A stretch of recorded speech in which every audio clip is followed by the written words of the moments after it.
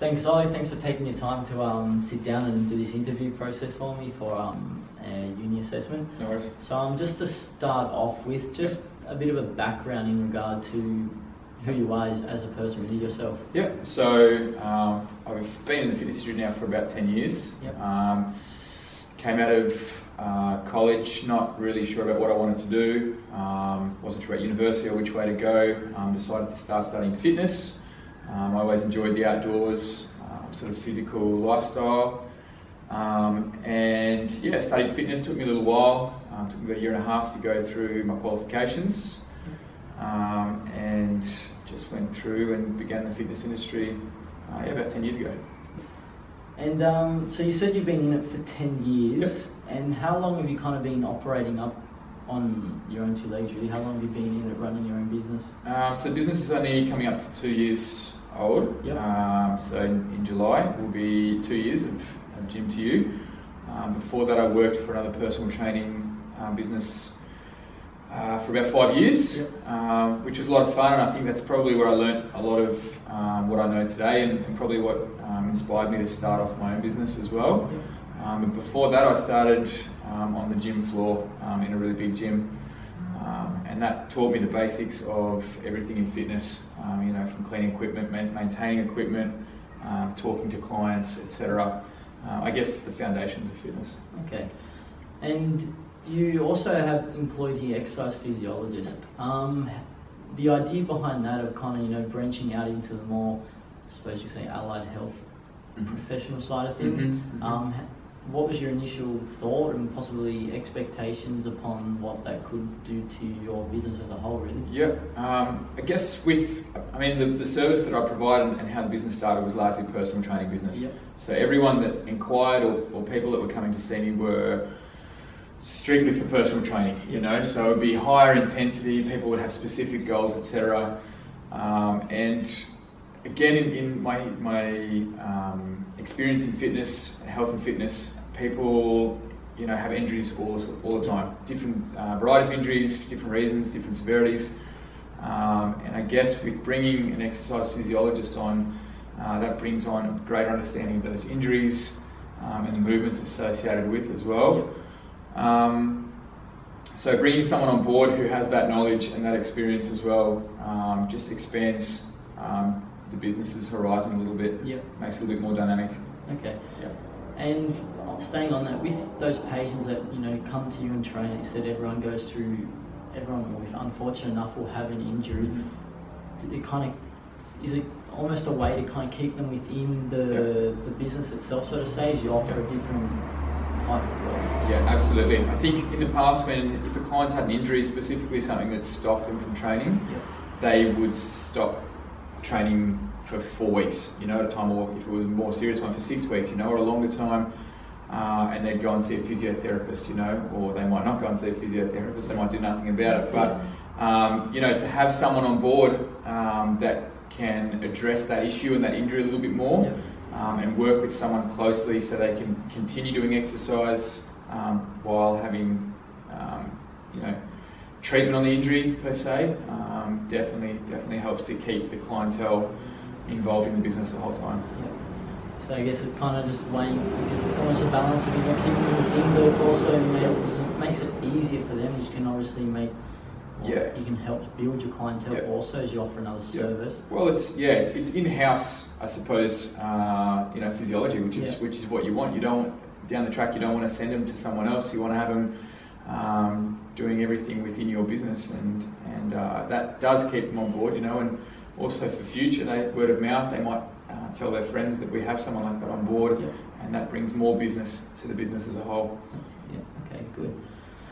So you've got your studio here. Mm-hmm. Um, upon moving here, or when looking for an area to work out of, Did you do research in regard to possible competition around, or did you pick a location for any particular reasons, so to say? Um, I, I guess initially I didn't really look at competition. Yep. Um, I mean, I knew a couple of bigger gyms that were in the area, but uh, I mean, Canberra's a place where there's, there's so many gyms, there's a lot of competition. Yep. I think that it's almost hit saturation point for this kind of industry. Um, but uh, no, I mean location. Location's a big thing in the fitness industry. I think um, people go for convenience more than anything, Yeah. and that goes for anything, any part of health and fitness. You know, so whether it's personal training, exercise physiology, physiotherapy, whatever, if it's convenient for the person, they'll come. And location here, uh, being fairly central in Belconnen and and you know easily accessible from Gungahlin or Civic, um, even the south side is not too bad as well. Um, was appealing to me, and it's definitely turned out that way as well. To, to be here, it seems like all the clients that were on board have stayed on board, Yeah. and it's easy to advertise for clients around as well. Yeah, so it's a relatively central location to the people you work with, I Yeah. guess. So, on expansion and even just starting your business on a whole, what was the initial? How did you feel about everything? Because obviously you got, like you mentioned, you got the expenses for equipment, um, even a studio. You got for other financial, Yeah. yeah, there's the whole financial side to the to the business as well. How did you go about that? Were the initial Think- stresses, I guess you would say. I mean, with starting the business, because it was a mobile personal training business initially, uh, and still is as well to some part, um, the risk wasn't as great, you know, because it was obviously purchasing a vehicle first, a little bit of equipment was expensive. Yeah. Uh, it can be a little bit daunting, especially, you know, a lot of what I've done in this last two years have been teaching myself. Yeah. You know, you learn a little bit from here and there or what other people have done. Um, but the big move was, you know, leasing this place and getting uh, a space where, you know, you have to pay rent every single week. You've got that's right. expenses, you've got electricity bills, uh, you've got insurances, etc. So that was the biggest step for the business, uh, which came a little bit later. But I think what I've learned in business is that um, step by step the business will grow if you're working towards it, you know. Um, and it goes out to the nothing ventured, nothing gained kind of philosophy as well. Okay. And on that, so you know, you put your hard work and you hope that you know things kind of come your way with that. Initially, was there any kind of layover where it was like, you know, I've started up, I'm trying, even when you were on the road, I've Mhm. started up, I'm trying Mhm. to build my clientele Mhm. base. Mm-hmm. Um, how almost how did you cope with this if at times it did not ta- did not pick up Yeah. maybe in the way that you had thought it would have? I think I've been pretty lucky that the last two years the ball just kept rolling per se. You know, it's, it's been I have to say it's been pretty smooth. There were no real hiccups. Um, again, it's that learning process of new things coming in. You know, when you have to start um, paying GST, when you start moving everything online. You know, clients booking online and. Yeah. Um, just little bits and pieces keep going, and I think I look at that as overall business growth. Yep. So for me, the business has never really stood still. You know, in terms of finding clients, that was a little bit difficult at times. Um, but I think for me personally, client retention, holding on to clients, I do quite well, Yep. which means I don't have a high turnover, which means I'm not always looking for new clients. Okay. So a lot of my work goes into keeping the clients I do have rather Yep. than looking for new clients. Okay.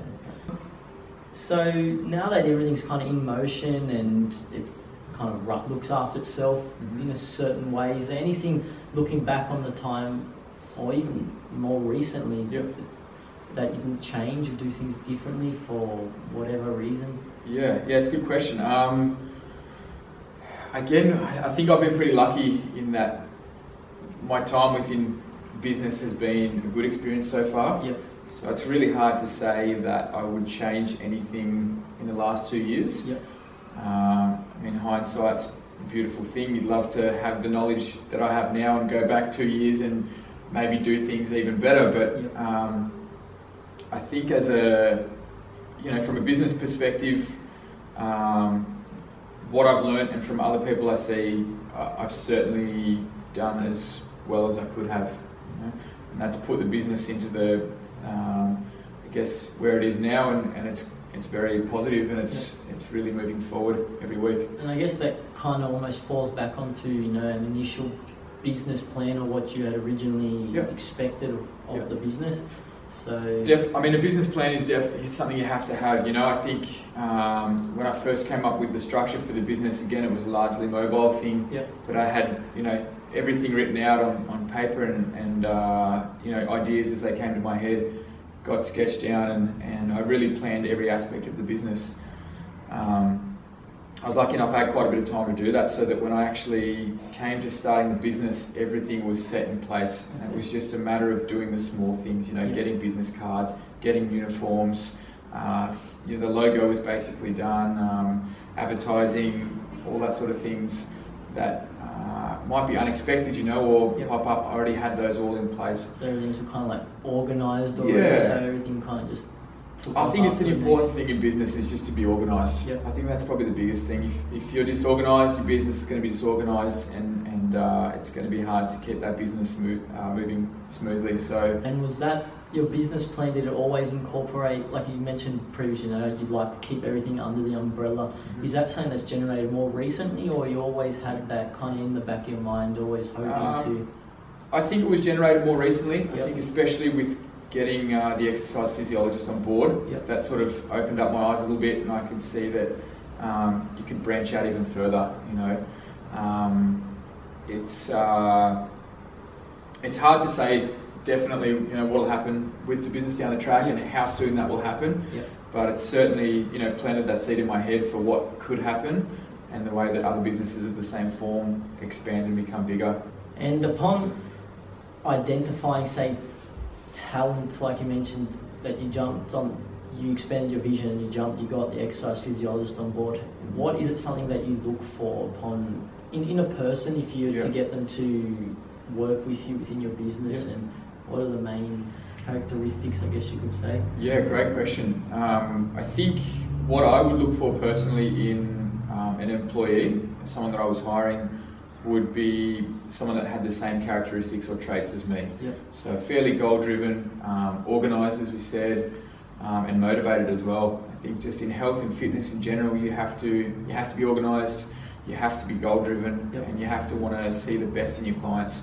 Um, regardless of whether it's a personal training client or someone you're working for, working with for rehabilitation, um, you have to find satisfaction in their satisfaction and their Yeah. improvement. I think, and uh, definitely getting the exercise physiologist on board. That um, he portrayed that pretty quickly, and, and I was lucky enough to know him um, for a little while, so I knew that getting him on board, uh, he was the right kind of person. Yeah, could Definitely. benefit and work into the way that you operate. and that makes a smooth transition as well, you know. So they don't have to learn that sort of thing.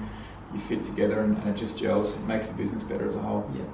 And at what point do you kind of say, you know, I'd like to expand? Does it become a financial thing? Does it just because you may feel the time is right because of, uh, like you said, keeping your patient, uh, your clients that you have now in house, Yep. and what they may think of an idea? How do you kind of go about the whole I think it's? I think it's a combination of all those things. I think yeah, definitely timing. You know, you sort of I mean, you're always thinking about the business. One thing I've learned as a business owner is you never switch off. You know, Yeah. some people go home five o'clock after they switch the computer off and they don't they don't have to think about work for the day. anymore. When you have your own business, it's never like that. You know, you go home and when you when you go to bed or when you're having dinner or whatever, uh, you're always thinking about it. You know, so um, in terms of growth and when to expand, um, it probably yeah definitely a financial thing. I think Yeah. finances have to be right, um, and obviously you have to see that the business is moving forward. For me, um, I got to a point where I was so busy that I couldn't take on more clients. Yeah. Um, so the next step for me was to get someone on board, uh, and whether that was a personal trainer or an exercise physiologist specifically, Yeah. didn't matter too much. But just to be able to provide another avenue And for me instead of turning business down, to put that to that person and Yeah. say, look, here we've got something else um, you can jump into, basically. Cool. All right, and so just one last question Mhm. now, which is just pretty genuine in your eyes. What advice can you give to the people, say, coming out of uni into the work field, or just in general for anyone looking for a new job? Or Yeah. yeah, I think I think probably the biggest thing, and I think it's the way I approached it when I first um, was in the workforce. I suppose is just to to work hard. yeah, Um, you know, to do do your best um, in whatever you're doing. Um, just give it your best effort. Um, I think an employer or someone who's watching will see that. Um, and if you're if you're working hard and trying to learn, um, you're gonna you're gonna move forward and you're, you're gonna succeed. But I think hard work, as I said, pays off. So if you if you're coming out of uni or, or school or whatever, and, and you've got the desire to go and learn and to work hard, um, you're going to get picked up pretty quickly. And uh, I think you're going to enjoy more uh, work a little bit more that way as well. Oh, hopefully, you know, in time to come, maybe with yeah, you can. I'll out be out of uni in a year's time, so hopefully take these things on board and Absolutely. be able to implement them We'll keep it, wherever I end up. keep it in mind, and maybe we'll have a spot at gym to you. Who knows? Potentially. All right, Ollie, thank you for your time. no worries, Daniel. Thank you.